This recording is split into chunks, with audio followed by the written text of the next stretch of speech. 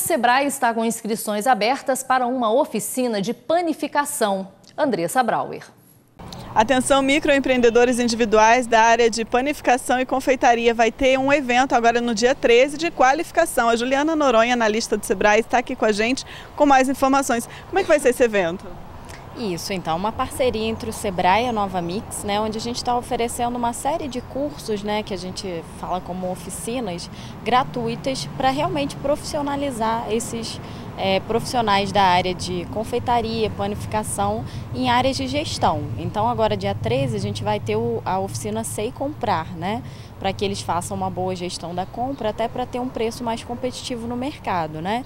Então, o público-alvo podem ser pessoas que fazem é, salgadinhos em casa, faz brigadeiro para vender, né? Principalmente quem já é microempreendedor individual. Oficina é gratuita, mas para participar tem que fazer inscrição, né? Isso, a gente pede que faça a inscrição com antecedência, até pela limitação né, de vagas e de espaço na sala. Essas oficinas estão acontecendo na própria Nova Mix Food Service, que fica no Prado. É, vai ser na parte da tarde, entre duas e seis horas, né? Todas elas com certificado, né? Tudo certinho.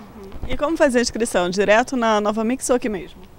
É ide o ideal é que faça aqui com a gente através do telefone, né, que é 25236908, ou por e-mail também, se quiser passar aqui presencialmente, a gente também faz. Vamos repetir o telefone então? É 25236908.